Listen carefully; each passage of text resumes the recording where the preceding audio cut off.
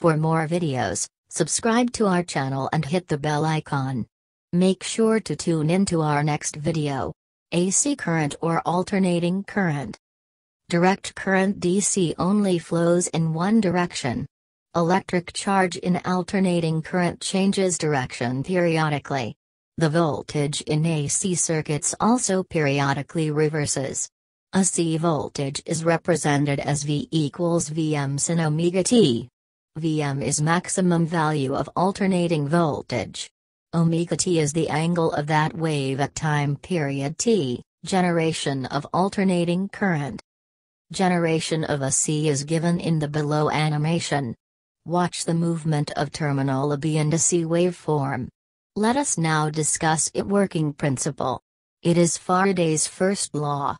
Whenever flux linked with a circuit changes, EMF is induced in it.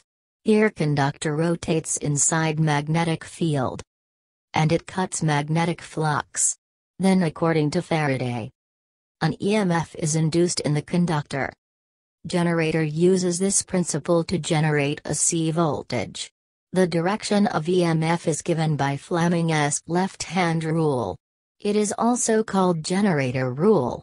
Put thumb, forefinger, middle finger in mutually perpendicular directions. If thumb represents force, then forefinger represents field and middle finger represents EMF. This law is used in electric generator. Thus the name generator rule.